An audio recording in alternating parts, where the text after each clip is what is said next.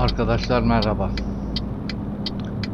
Bugün Norveç'te Oslo'dan Trondheim isimli bir e, şehre yük getireceğiz.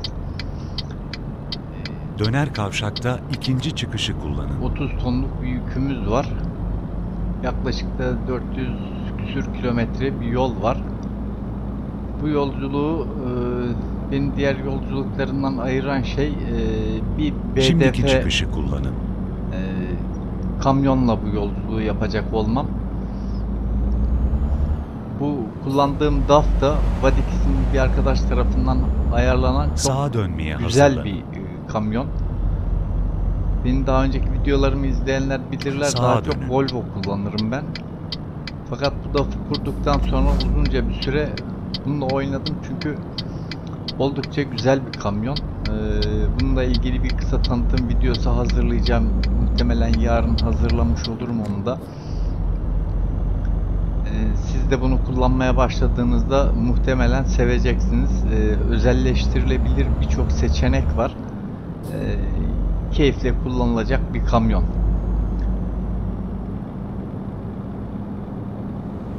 Arkadaşlar şimdi e, Norveç çok e, güzel bir ülke. Üstünde güneş batmayan ülke e, diyorlar buraya. E, az sonra göreceksiniz. Özellikle gece yolculuğu yapacağım yani yolculuğun bir kısmı gece geçecek. E, ne demek istediğimi e, anlayacaksınız. Buralara gelmemiş olanlar fark edecektir zaten. Bir de önce şunu söyleyeyim.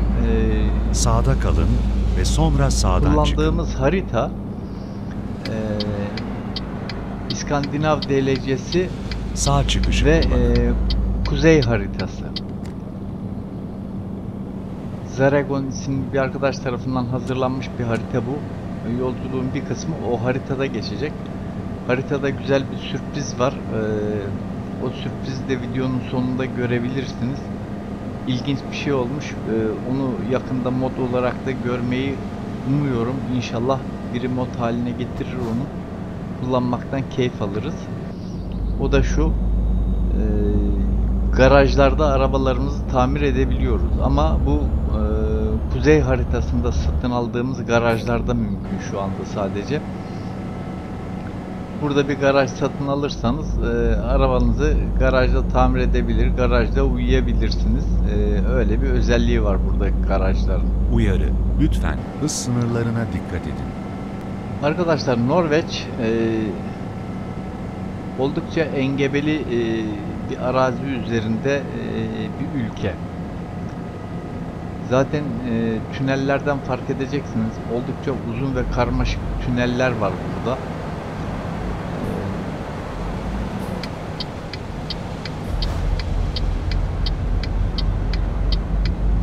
sık sık tünellerden geçeceğiz.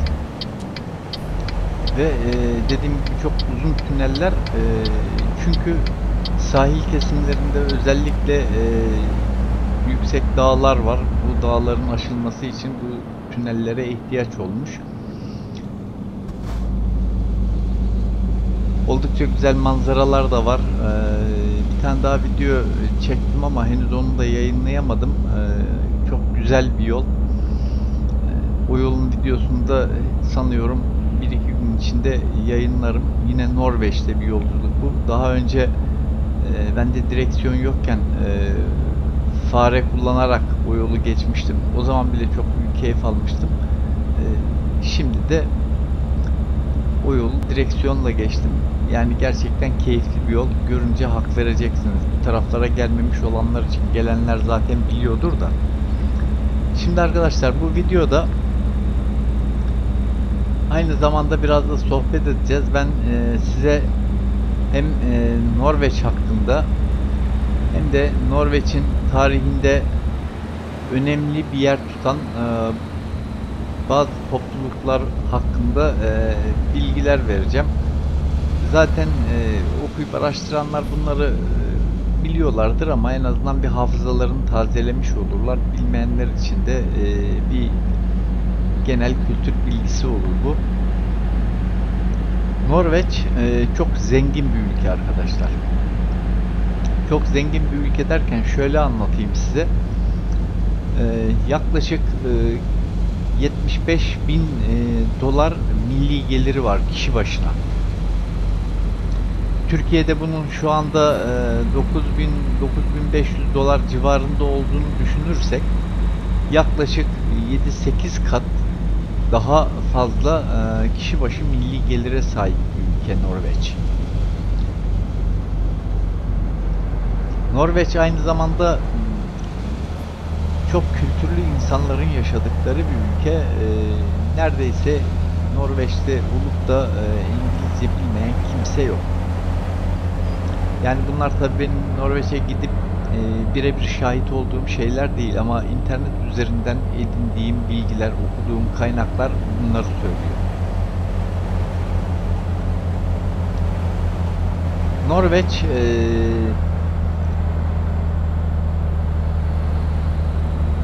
deniz kıyıları da çok e, uzun bir kıyısı var e, denize. Atlas Okyanusu'na. Bu kıyılar bir dantel gibi arkadaşlar. Binlerce koy var. Fjord diyorlar. E, girintili çıkıntılı. Çok e, özel bir şekle sahip. Ülkenin e, komşuları e, Norveç var, Rusya var. Bir de galiba Finlandiya vardı.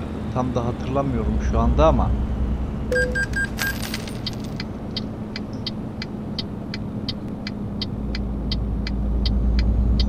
İsveç, Finlandiya ve Rusya olması lazımdı. Yanlış hatırlamıyorsam not aldıydım da e, başlamadan evvel notta da bulamadım onu. Düzgün de not almamışım. Düz ilerleyin.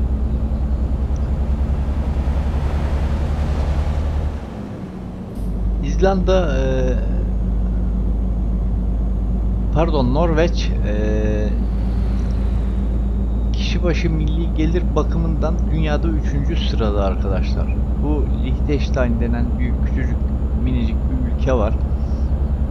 O ve e, işte Lüksemburg ve İsviçre gibi ülkeler var E, ama e, Lüksemburg ve İsviçre'den sonra üçüncü sırayı alıyor kişi başına milli gelir açısından E, oldukça zengin e, açık denizden petrol e, çıkartıyorlar bu petrol gelirleri var Düz ilerleyin. e, odun ve kereste sanayi oldukça gelişmiş ve Çin'den sonra en büyük balık ihracatçısı bu ülke.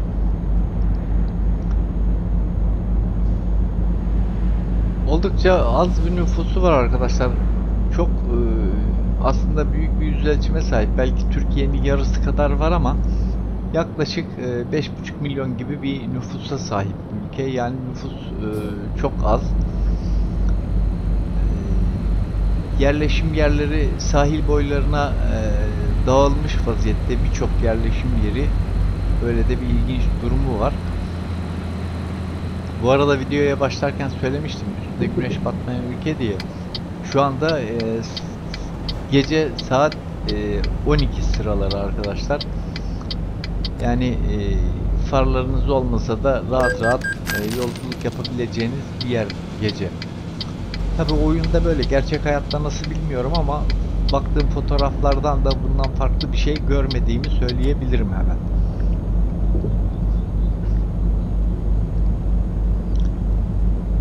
Arkadaşlar şimdi bu Norveç'in e, asıl benim e, anlatmak istediğim şey e, Norveç'in İsveç'in ve Danimarka'nın e, tarihlerini de ilgilendiren bir şey.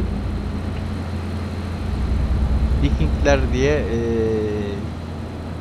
topluluklar.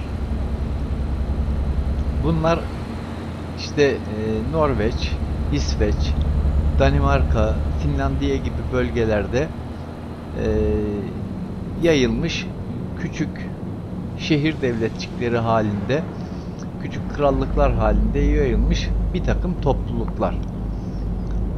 Bunların e, filmlerde e, hatta son zamanlarda e, yabancı bazı, bir kanalda Vikingler diye bir dizi var. E, Ondan sonra e, Düz Vikingler diye e, bir çizgi film vardı. Bir küçük Viking babası ile beraber. E, oradan hatırlarsınız bunları. Vikingler e, bu topraklarda yaşamış savaşçı bir millet.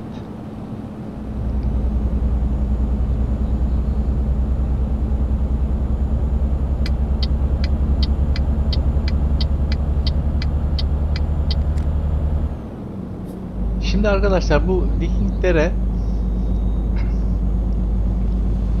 Düz ilerleyin. bu ismi takanlar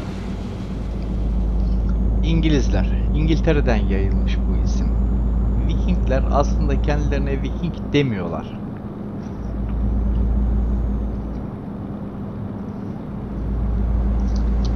Viking ismi İngilizler tarafından eee, verilmiş bunlara ve eee,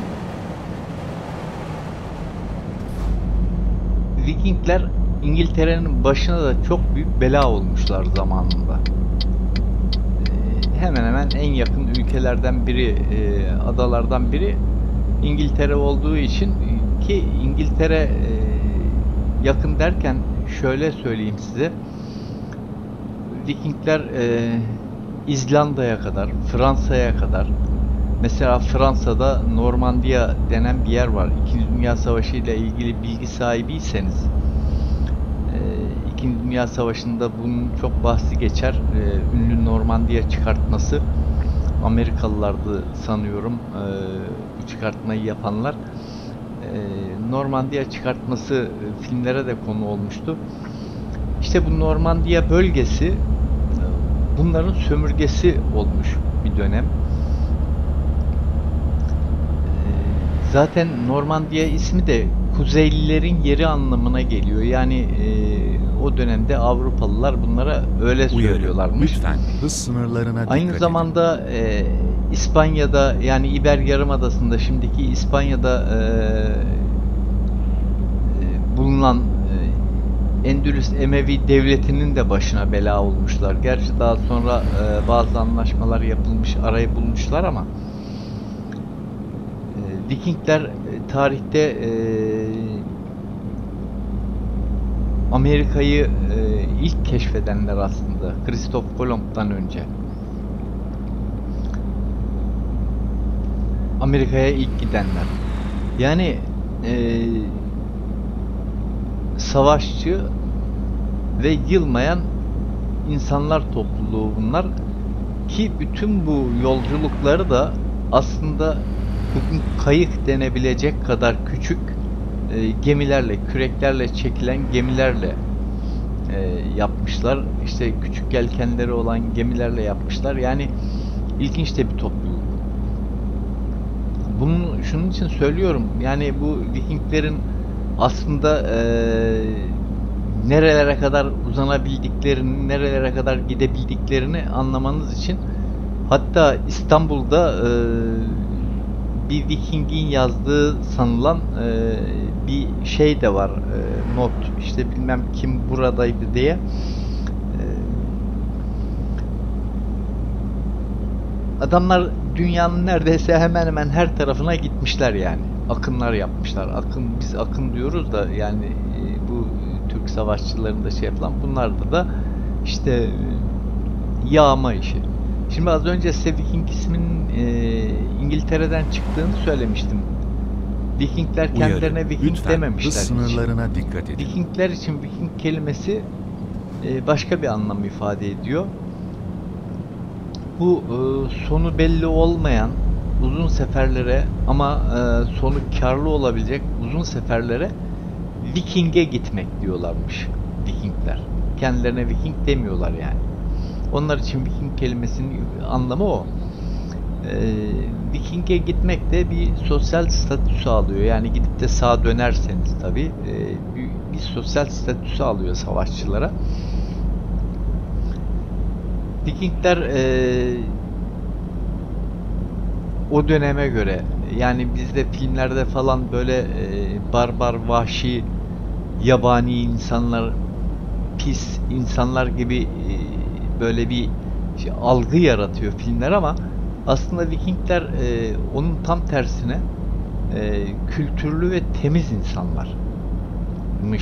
Yani tarihteki e, bir takım kaynaklardan e, edindiğim bilgiler bu yönde. Mesela o dönemde Vikinglerin Avrupalılardan daha fazla banyo yaptıkları, işte tırnaklarını uzatmadıkları çünkü uzatılan tırnakların e, onların dini inancına göre dünyanın sonunu getirecek e, bir geminin inşasında kullanıldığı gibi bir şey varmış. Yani temizliğe de Uyarı. önem veren Lütfen e, sınırlarına bir topluluk edin. aynı zamanda. Kültürlü diyorum.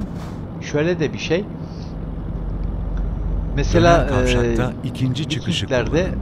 kadınlar e, erkeklerle aynı statüye sahip. Yani erkeklerin yaptıkları Şimdiki her işi yapabilirler. Liderlik yapabilirler. iş kurabilirler. E, o dönem hatta birahane bile işletebilirler. Yani kadınların e, bir saygınlığı var. Ama buna karşılık Döner kavşakta ilk çıkışı kullanın. dönelim. Şimdiki çıkışı kullanın. Buna karşılık e, Vikinglerin e, evlilik yaşamı da e, bir tuhaf arkadaşlar. Kadınların e, her türlü özgürlüğe sahip olması e, erkeklerle aynı statüde bulunmasına karşın erkek olsun, kadın olsun Vikinglerin evlenmesine başkaları karar veriyor. İşte o dönemin veriyormuş. O dönemin e, bu işe karar vericileri tarafından hangi erkeğin hangi kadınla evleneceğine birileri karar veriyormuş. Dolayısıyla buna itiraz da etmiyorsunuz. Ve bu evliliği öyle gerçekleştiriyorsunuz. E, Sonuç olarak Vikinglerde evlilik e, yaşamı da böyle. Arkadaşlar şimdi biraz rampa çıkacağız. 30 tonda yük var. Bakalım bu rampa nereye kadar gidecek.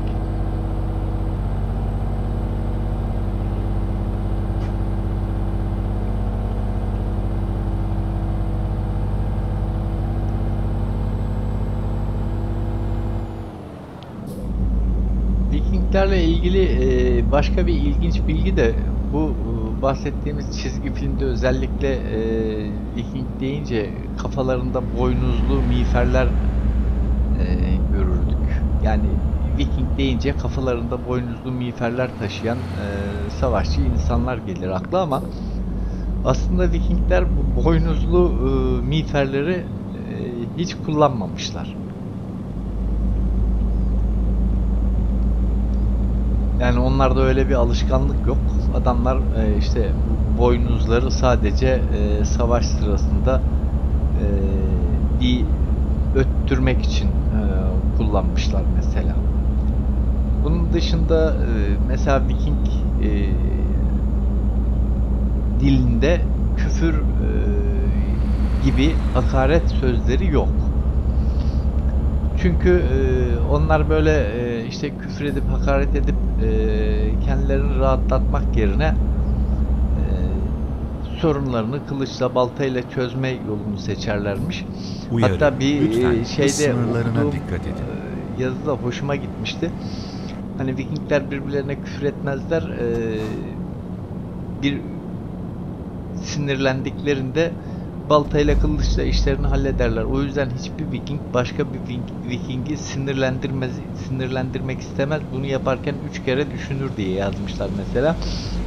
E, Gerçekten de bu da ilginç bir durum. Ee, şöyle diyebiliriz. Mesela doğada da aslanlar, e, kaplanlar işte yani birbirine denk gücü olan hayvanlar birbirleriyle pek dalaşmazlar. Eğer e, Uyarı. kendilerine Lütfen çok hız güvenmiyorlarsa. sınırlarına dikkat edin. Çünkü yaralanmak demek avlanamamak demek, aç kalmak, susuz kalmak demek, sonuçta da ölmek demek. O yüzden kendilerini korurlar. Vikinglerde de demek ki bu yabani hayvanlara benzer bir anlayış hüküm sürmüş zamanında.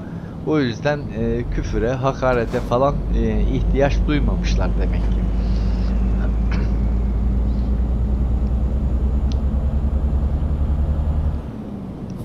Bu ha şimdi notumu buldum arkadaşlar. Yandan araba kullanırken notları karıştırmak da çok zor oluyor ya. Ufacık ufacık da kağıtlara yazmışım bunları. Bu e, Ayasofya'da bu az önce bahsettiğim e, şey şimdi başka bir not ararken o gözüme ilişti. Hal, a, Haldan buradaydı diye bir şey e, bir Viking'in yazısı Ayasofya'da taşa kazınmış. Bu e, İstanbul'da Vikingler İstanbul'da e, Bizans döneminde Roma döneminde İstanbul'a da gelmişler. İmparatorluğun hizmetinde e, çalışmışlar. Paralı asker olarak. Yani Doğu Roma döneminde e, bahsettiğim şey bu işler. Orada paralı asker olarak çalışmışlar ve e, gözde muhafız birliklerini oluşturmuşlar o dönem imparatorluğun. E, gözü pek insanlar savaşmaktan kaçınmıyor. E, sarışın, mavi gözlü, e, iri yarı insanlar olarak tasvir ediliyorlar e, Vikingler.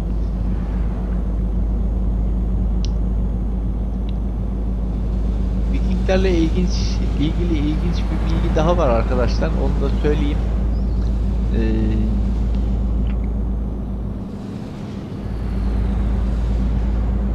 ateş yakmakla ilgili bunlar e, ağaç kabukları üzerinde yetişen bir e, mantar tipi fungus denen bir mantar tipini e, kurutup e, e, toplayıp idrarlarla e, kaynatıp onu sonra kurutuyorlarmış. Onu da ateş yakmakta kullanıyorlarmış.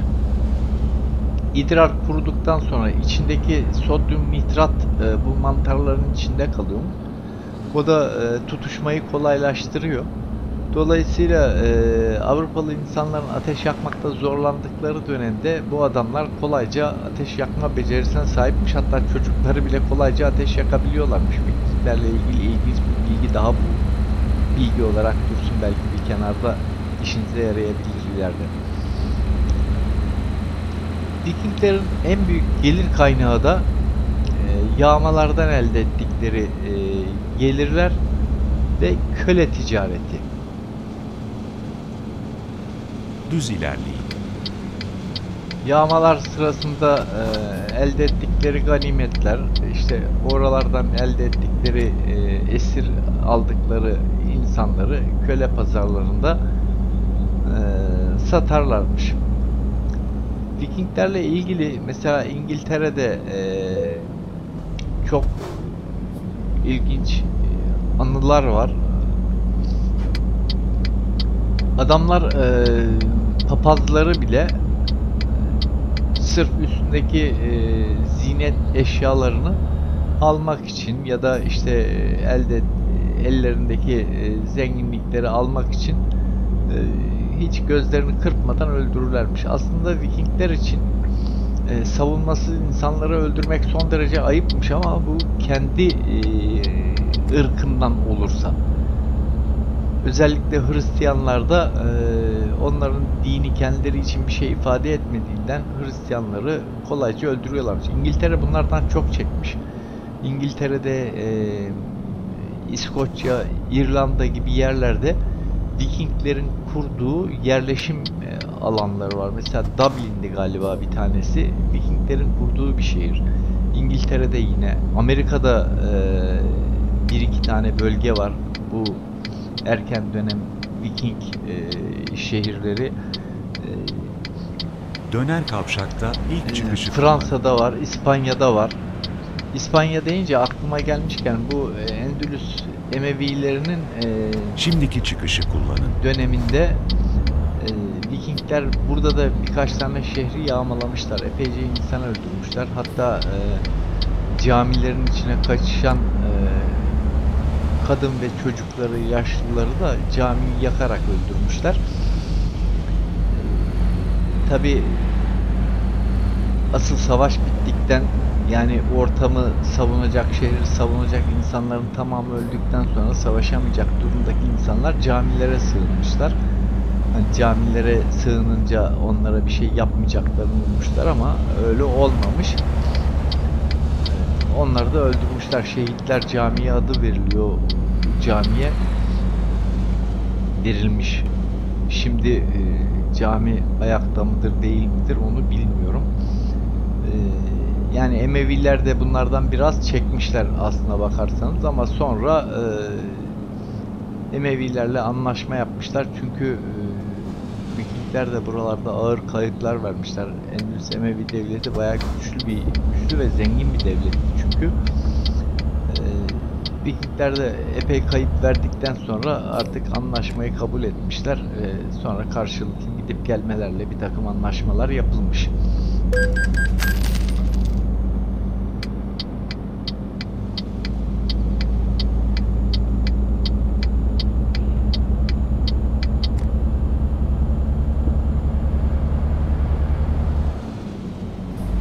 Sağda kalın ve sonra sağdan çıkın.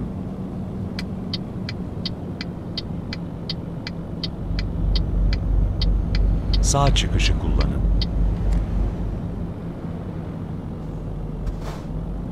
Düz ilerleyin.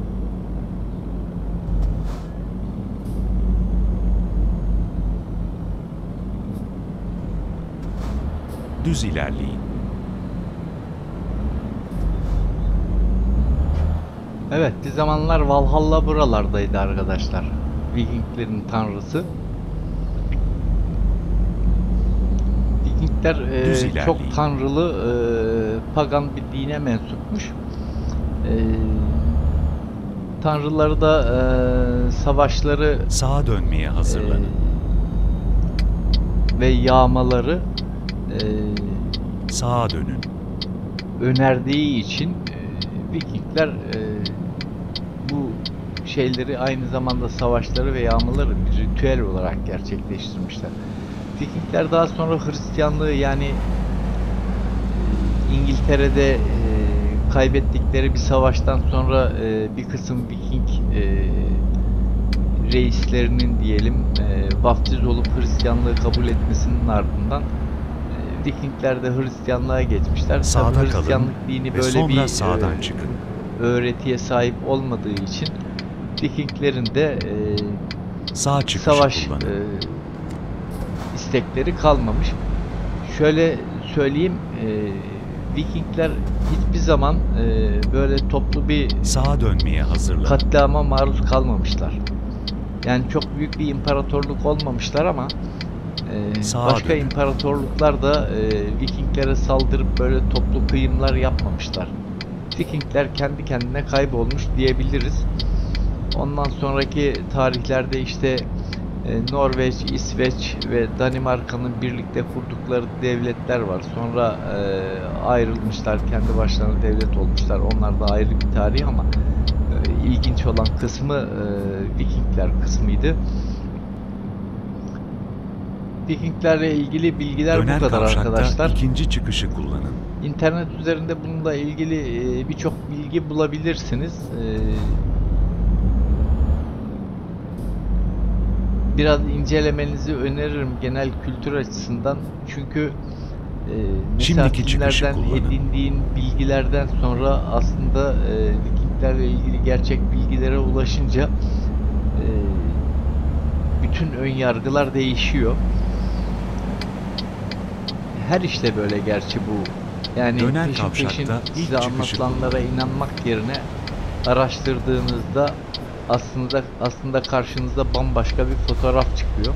İşte asıl o fotoğrafı gördüğünüz zaman doğruyu öğrenmiş oluyorsunuz. O yüzden eee, bu konuyu biraz araştırırsanız iyi olur. Mesela ben bir film seyrettiğimde ya da başka bir Şimdiki şey okuduğumda, kullanın. mesela roman okuduğumda veya bir hikaye okuduğumda konunun geçtiği yerle ilgili bir bakarım Ee, internet üzerinde ne tür bilgiler var, ee, nereye kadar doğru, nereye kadar yanlış ya da daha fazla, daha ayrıntılı bilgiler varsa gibi Ee, size de önerim o ee, duyduğunuz şeyler için ee, biraz araştırma yapıp sağlıklı bilgiler edinebilirsiniz. Bu arada arkadaşlar boşaltma yerine yaklaşıyoruz. Geldik Sağa sayılır yani az hazırlanın. bir yolumuz kaldı.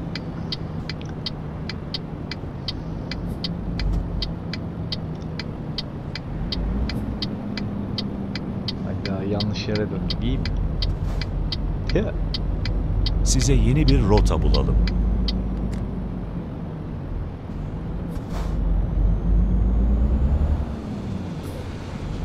Ya çene yaparken böyle oluyorum ben nedense. Şuradan dönelim bari geriye. Kapısı var mı buranın açık?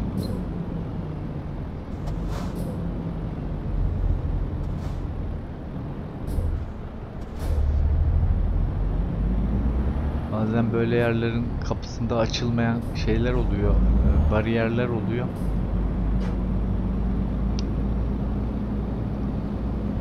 Yeni rota bulunuyor.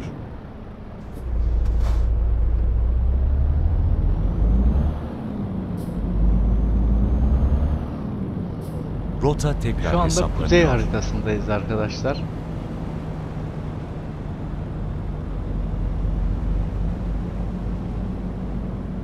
Burada çok fazla şehir yok ama harita oldukça güzel. Ben bunu e, promot kullanmadığım haritalarda e, hep kullandım bu haritayı. Promot'la uyumlu değil. E, Promot çünkü bu Tekrar haritanın hesaplanıyor. yazdığı alanlara da müdahale ediyor. Ama standart haritalarda e, bu haritayı sürekli kullandım. Sağa dönmeye hazırlan. Oldukça güzel bir yer. Aslında buralara daha önce de geldim. Yani yolculuk yaptım burada. Fakat Sağa e, harita yeni güncellendi. 1.35 sürümüne aynı zamanda DirectX 11'i de destekleyecek biçimde güncellendi. O yüzden e, haritayı da bir tanımış olursunuz e, burada seyahat etmek isterseniz. Dediğim gibi çok büyük bir harita değil ama güzel bir harita. Onu hemen söyleyeyim. Sağa dönmeye hazırlanın. Buradan dönmemiz dön. Bir önceki yoldan döndük.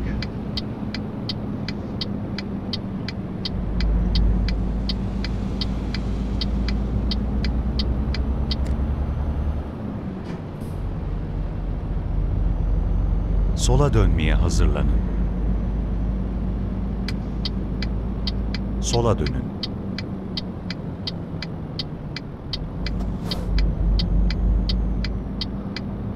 Evet arkadaşlar geldik gibi oldu. Ya bu tandem remorklarla e, geri manevra yapmak da oldukça güç oluyor. Daha önce e, videolarımı izleyen arkadaşlar görmüştür. Ben zorlu park yerleri diye bir mod kullanıyordum. Zor park e, Sağa dönmeye hazırlanın. e, sevdiğim için. Fakat bu BDF kamyonla e, manevra yapmak yani dar alanlarda manevra yapmak e, çok zor olduğu için o modla birlikte e, dönmesi imkansız olan yerler çıkıyor. Yani ne kadar usta olursanız olun kamyon dönmüyor zaten o yerleri. O yüzden o modu kaldırmak zorunda kaldım bu BDF'yi kullanırken. Son durağa geldiniz. Bakalım şimdi nasıl bir yere park edeceğiz.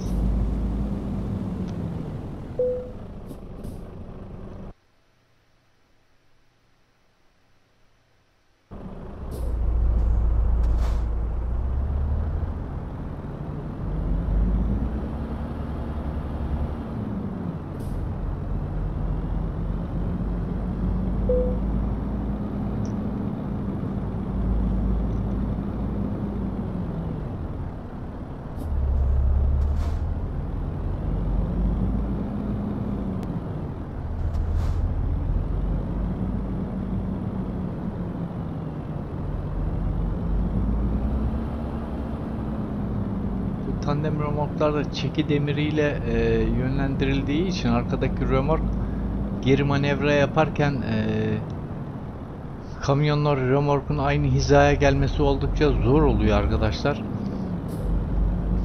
Yani düzgün manevra yapmak için biraz e, çalışmak gerekiyor. İlk başta bayağı bir acemilik çektim bununla ilgili.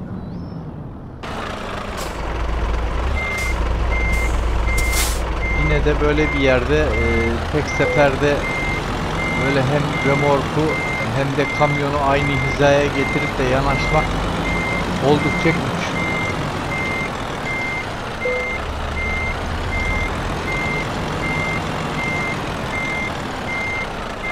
Römork hizaya giriyor da kamyon tam olarak aynı yere gelmiyor.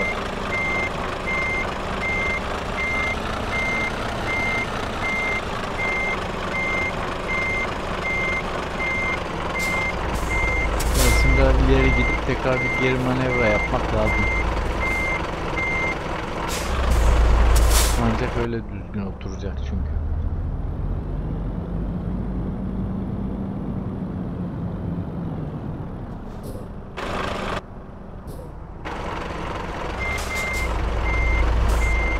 Bu BDP paketi arkadaşlar bununla ilgili e, bir video yayınladım. Bu BDP paketi SCS'nin bütün kamyonlarında kullanabileceğiniz bir paket. E, sadece MAN Euro 6'ları e, desteklemiyor henüz. Herhalde kısa bir süre sonra e, modun yapımcısı onu da ekleyecektir. Ama MAN Euro 6 dışındaki bütün kamyonlarda bu BDP paketini kullanabilirsiniz. Ee, bir beyaz bir de gri olmak üzere iki tane skin de geliyor. Bir de e, Euro Truck diye bir skin var ama onu herhalde kullanmazsınız. Ben bu Wolf paketi için de e, paket şey skinler hazırladım, buna kaplamalar hazırladım. E, böyle görünüyor.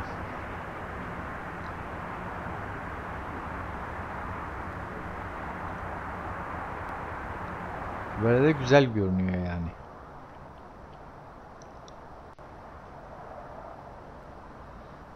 DAF XF 105'in içi de böyle arkadaşlar. Burada özelleştirilebilecek çok şey var. Gerçekten çok sayıda şey var. Yani her şeyi parça parça özelleştirebiliyorsunuz. İçerisini istediğiniz gibi yapabilirsiniz. Harika bir mod bu. Darısı diğer kamyonların başına diyelim. Yani böyle bir modda e, onlar yapsınlar. Bir Mazster'ın manı var. Bir de e, RJ'lerinin Scania'sı var herhalde. Böyle özelleştirilebilen. Başka da e, mod görmedim. Bu kadar çok e, parçası özelleştirilebilen. Şimdi arkadaşlar yeni bir parça ekleyeceğim. Şimdi Arkadaşlar şimdi bu Trendheim denen yerdeyiz. Burada eee, bir tane garaj var. Bu garajı satın alacağım şimdi.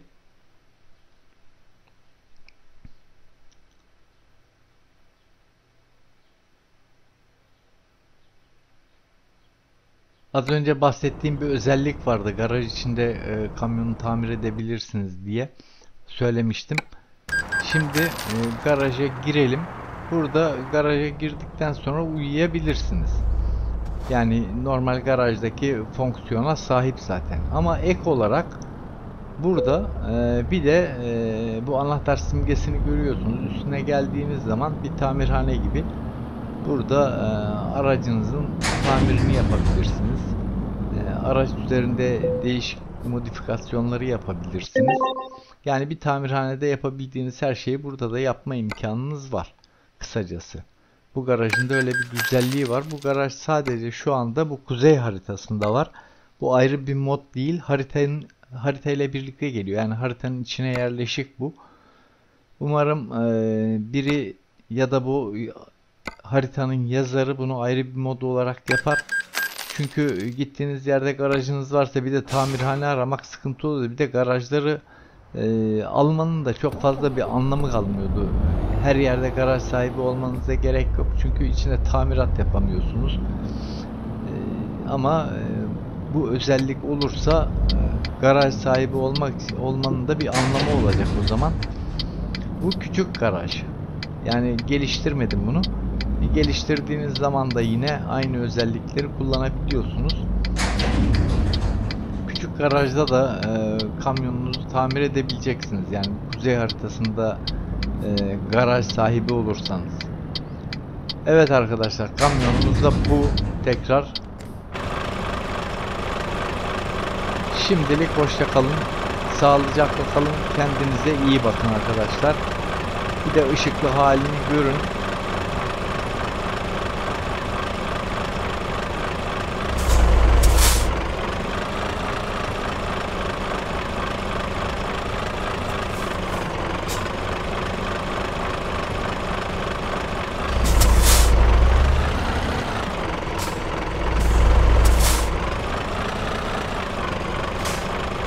Evet budur.